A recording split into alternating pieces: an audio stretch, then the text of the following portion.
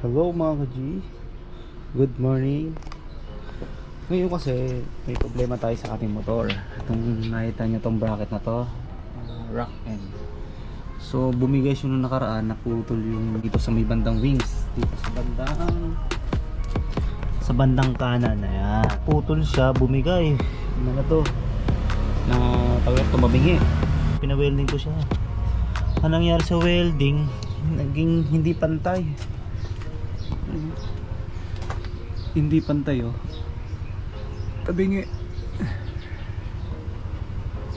tabingi siya oh. Pag makita mo dito tabingi so may mali sa pagka welding ngayon bumiyahe ulit ako. Ma maalog siya oh. Kita mo yan maalog. So tumatama siya dito sa signal light. Kaya ginawa ko nilagyan ko muna ng alambre para din dito hindi masyadong tukod na tukod. Ayan. so tinat ko si Rockton papalitan daw nila. Kasi naka ano eh, lifetime warranty. Kaya tara samahan nyo ako papuntang Bulacan. Rock M Pulilan Bulacan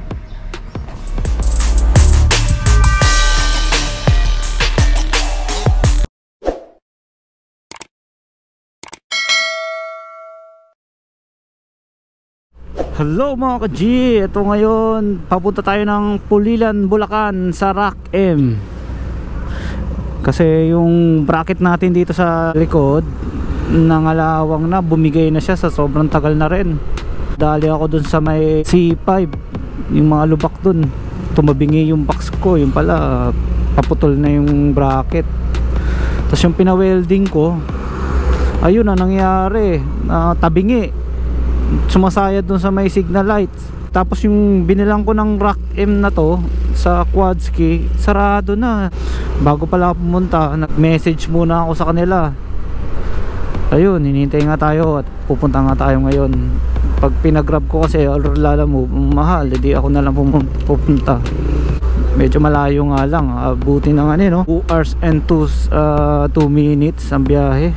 Alas 12 na darating tayo doon alas 2 so medyo malayo-layo to. EDSA tayo EDSA. Namali tayo ng rota. Ah, di, di naman namali. Kumbaga nag change way tayo. Dapat EDSA ang daan natin eh. Update. Kailangan diba kanina dalawang oras pa ilalakbay natin ngayon. Uh, 1 hour and 39 minutes. Medyo malayo-layo pa. Isang oras mahigit pa lumagpas na tayo ng monumento ah uh, lumagpas na na konti hindi ko na on yung camera eh Nag ano tayo, nagtitipid sa battery. Valenzuela na tayo. Oo. Alright. Time check. Ilang oras pa ang lalakbay natin? Isang oras at pitong minuto pa. Update. Nasa uh, May Kawayan, Bulacan na tayo. May Kawayan, Bulacan. Oo, diba? Bilis no. Nasa Bulacan agad tayo. Marilaw na tayo guys. Oh. Marilaw. 46 minutes pa. Woo, sa chapet. Bukami na tayo 37 minutes na lang And guys, nasa Polilo na tayo 4 minutes, 1 kilometer Ma'am, pwede magtanong? Yung Rock M po Sir, Dad, pasok ka dyan sa menu entry. Okay Ito nga bago dun, hindi ka lalabas ng kanto. So may bisita dyan. Ah, okay, bisita Thank you Thank you po